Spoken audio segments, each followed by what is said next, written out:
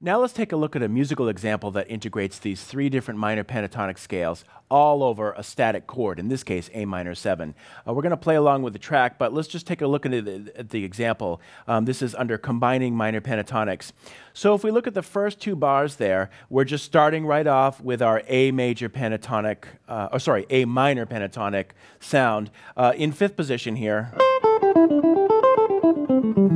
using that same pattern that's illustrated in the first measure of this example. And then as we're coming out of the second bar, we're, we're shifting into the E minor pentatonic sound. So uh, as I mentioned earlier, this is like combining the different regions and combining the different inversions of these pentatonics um, to create a unified sound um, at the end of measure three, then we're, and then into uh, measure four, we're then using a B minor pentatonic over an A minor. And this is really cool. Um, you know, it's, it's, it sounds so obviously like a minor pentatonic scale, that sound that's so familiar, uh, not only to us as guitar players, but to, to everybody. It's a, it's a great sound.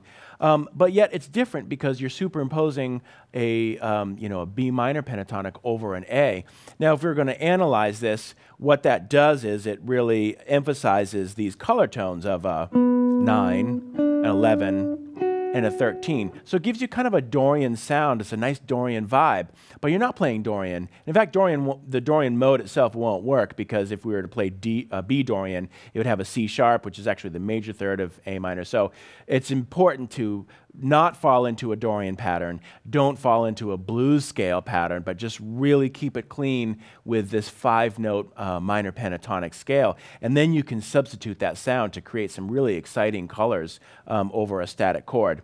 Uh, moving on to measure five, well, it's measure eight on your handout, but it's the fifth bar of this example we're focusing on E minor, uh, E minor pentatonic over A minor. And that's pretty cool too, because again, it's, it's all how you phrase. You know, if, if we're really focusing on the root, the root up to the five, well, if we played that same thing over an A, we're actually playing five, flat seven, one, nine. So that nine is going to give you a really nice color that you that wouldn't be available if you were only staying in A minor pentatonic.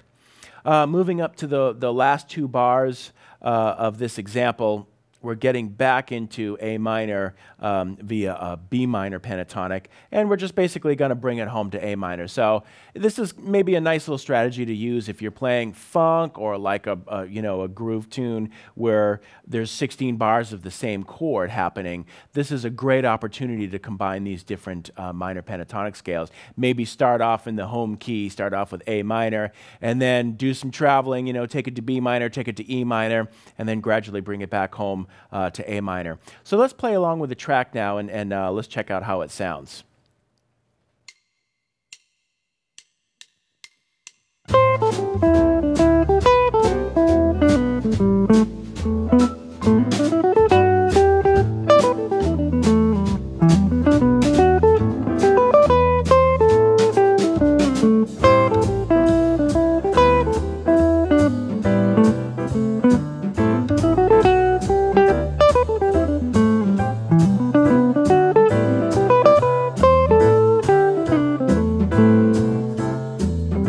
Effect that you can create over a static chord, we'll, we'll keep our A minor 7 here. Uh, but if we want to create a little bit of dissonance, um, we can use a technique that's called chromatic sidestepping.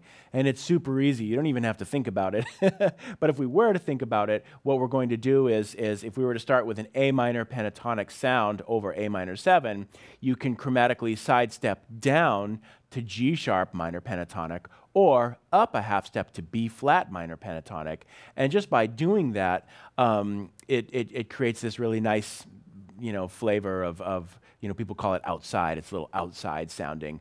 Um, and it's kind of like, whoa, veering to the left or veering to the right a little bit. It's a great way to create some tension. Um, John Scofield loves doing this. It's, it's, you know, in the context of a, a pentatonic sound over a static minor chord. It's a great way to create this concept of, of uh, tension and resolution that traditionally is achieved through some sort of a five chord, like an altered five chord, to a one. That concept of tension and resolution um, can also be achieved over this very, you know, static, some would say boring just minor seven chord, you know, how can we create tension and resolution over that? Well, one way is, you know, a, a, a classic bebop way of doing that is to superimpose an altered five uh, over a one kind of thing. So even if we are doing that, you might want to play, you know, some sort of like.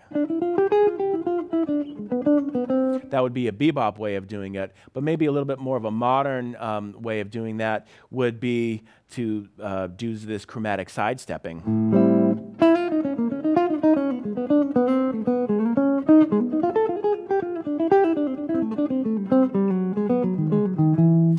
And by doing that, it sounds like, well, we're, we're doing something different. But because it's a minor pentatonic scale, there's, again, this sense of familiarity to it. It's not totally random, it's not totally outside.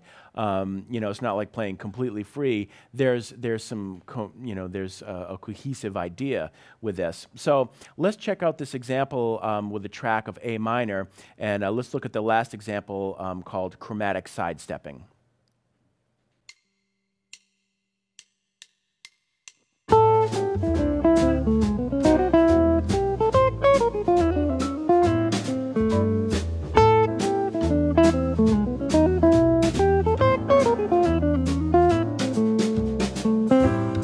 Can listen to this chromatic sidestepping device in a lot of 60s uh, jazz in particular. Like check out um, Joe Henderson, check out recordings featuring McCoy Tyner, and uh, you'll hear them play these songs that have, you know, many bars of the same chord, and, and you'll hear them play this device. So um, it's great to be able to, to do this on guitar and um, revisit these scales that you've been playing for probably all of your guitar life and use them in new, fresh ways uh, in a jazz context.